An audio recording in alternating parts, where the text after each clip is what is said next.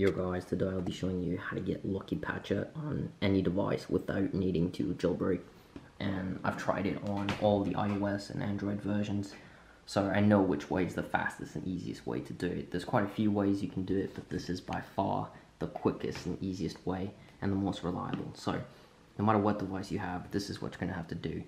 Open up Safari or your web browser and you're gonna go on the site luckyinstaller.io I'll try to leave a link down below for you guys uh, so it can be quicker for you. But basically, once you're on the site here, the way it works is you have to inject the Lucky Patcher files onto your device because uh, Apple or Android, for whatever reason, would prefer that you're not able to hack applications, as you can imagine. So, but it's really easy to do. So you're just going to hit the button here, Open Injector, and it's going to load this page here and you're going to you're going to have to select a couple of applications to inject with the Lucky Patcher files. So you're just going to tap on one of these applications. It'll bring you to the App Store. And once you're on the store you're just going to download the application.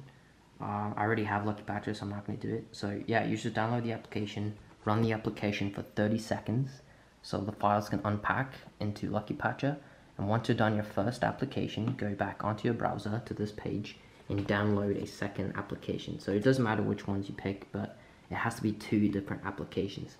So you can pick Solitaire, do the same thing, run it for 30 seconds. And once you're done doing that, guys, power off your device, boot it back up, and you will find Lucky Patcher on the very last page of your device. So that is it, guys. Comment down below if you have a question. Uh, if there's any other apps you'd like me to tweak, let me know. And yeah, I hope you guys enjoy.